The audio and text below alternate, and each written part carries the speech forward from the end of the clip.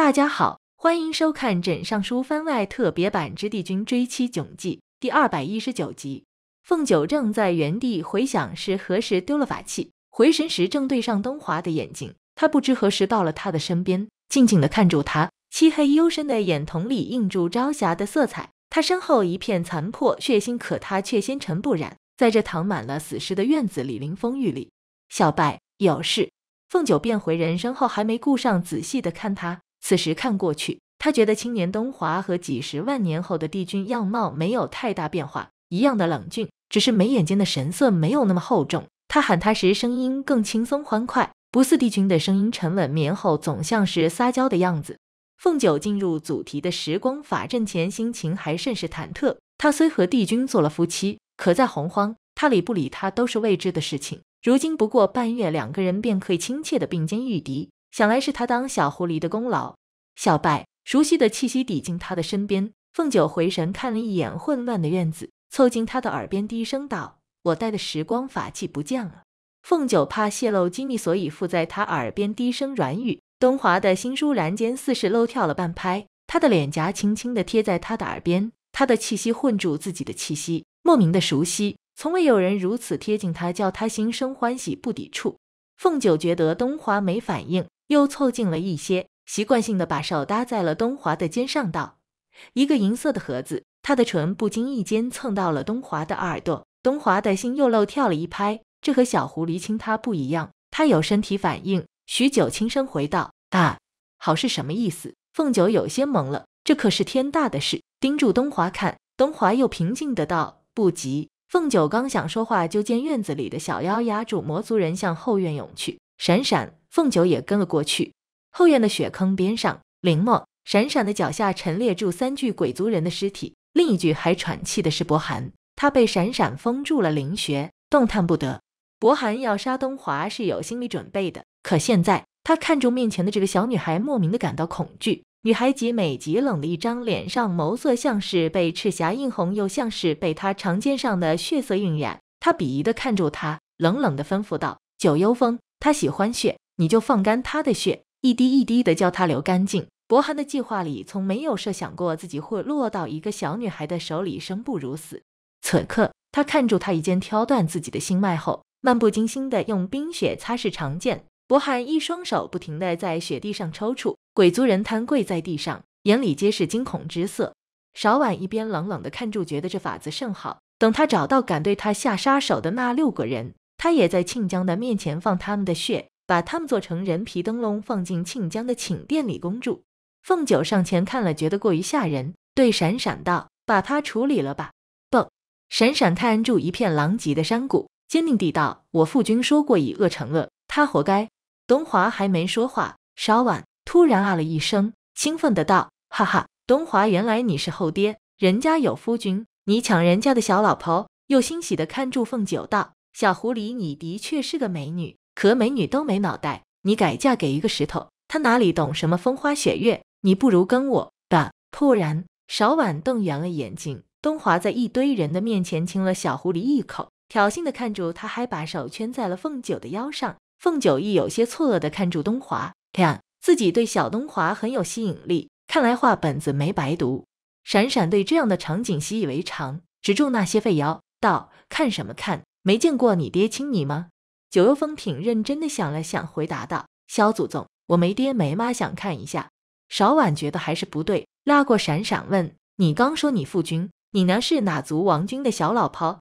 闪闪抱了胳膊笑：“小老婆倒是小老婆。”不过她就是我爹的小老婆，也是我父君的小老婆。少晚思维凌乱，看住混乱人群中有点暧昧的东华和凤九，低声嘀咕道：“石头精遇到狐狸精，生了一个小猴精。”闪闪听了，眯眼一笑，低声对林墨说：“若是我父君来了，会把少晚姑姑送回到蛋壳里面重新孵化。”林墨神色悠远，看，若真是那样，闪闪这小魔女怕是会把蛋壳给捣碎了。灵谷里混乱不堪。东华要带凤九回碧海苍林休养。他们走前，父女两个人在半截树桩后一顿嘀咕，不时有笑声传出。凤九远远看住，心中甚是欣慰。他给东华生的孩子都那么优秀，讨他欢心。即便是父女隔住万水千山，见面后还是那么亲。想到孩子，凤九脑子里突然出现帝君带住双胞胎坐在门口等他回去的场景。他的去找法器，或许是他刚到洪荒时落在雪原上了。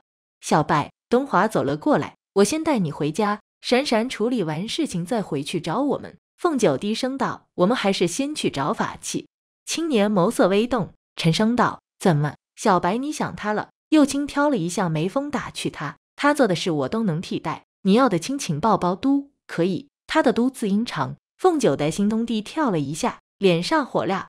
他做小狐狸时的确喜欢勾搭他，还经常给他写一些挑逗性的语言。可现在他看住这张英俊的脸，却一句话也不敢接。东华又道：“我问过闪闪，法器找不到也没关系，到时间它会自动开启。”又抵近他的耳边说：“你要强行走，说不定会回到我刚从石头里蹦出来的年代。你确定要去抱住我喊夫君？”凤九一个机灵，虽说他想回来看看东华，可他真没想把自己未来的夫君日日抱在怀里。他不像帝君那么变态，他还在愣着。青年弯腰沉声道：“上来。”凤九看出东华这是要背他的意思，他受了魔使六剑的袭击，的确是难受。可这他犹疑间，东华调侃道：“怎么喜欢我抱你？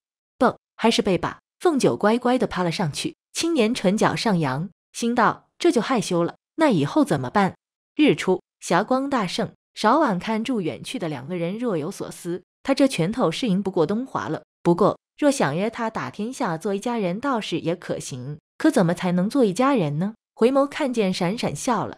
东华背住凤九回碧海苍灵，他脚踝上的精灵在风中甩出清脆的鸣响，那声音像是他此刻的心境愉悦。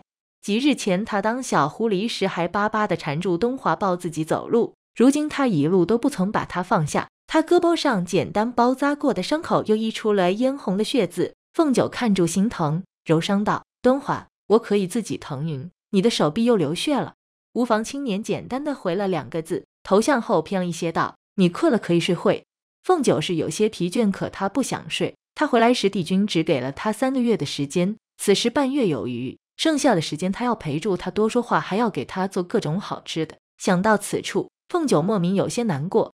他到洪荒不过才半月多的时间，东华就打了两次大架。以后的几十万年，更不知鲜血染红了多少次衣襟，却只是独自咬牙忍受。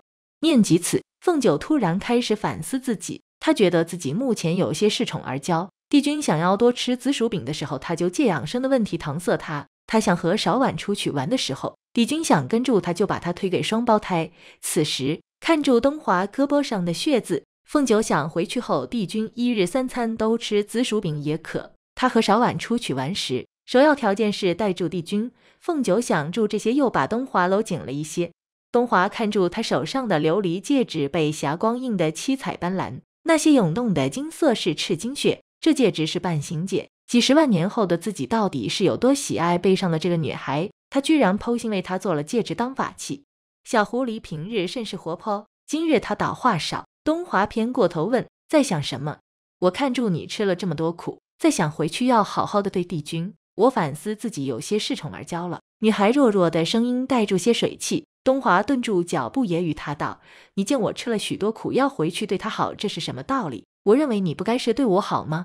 这是吃醋了吗？”凤九笑笑：“我自然会对你好呀。我过来就是想看看你，给你做好多好吃的。我最会做饭了。那你对他怎么好？”东华静静的等住他的回答。凤九想了一下，顽皮的晃住脚上的精灵说：“帝君他也爱吃我做的饭。”最爱吃紫薯饼，这次回去一日三餐加夜宵全吃紫薯饼。青年意味深长的哦了一声，看住飞云神色悠远，稍后甚是正经地道：“我现在年轻，正是长身体的时候，照住他的规格给我做双份就行。”双份。凤九脑子里倏尔溜出一个画面，他要爬走，被帝君给拖了回去。突然间，自己咯咯的笑了起来，一边笑一边道：“我怕你消化不了。”他伏在东华的背上，笑得花枝乱颤。好了。今天的剧情就到这里，我们下一集再见。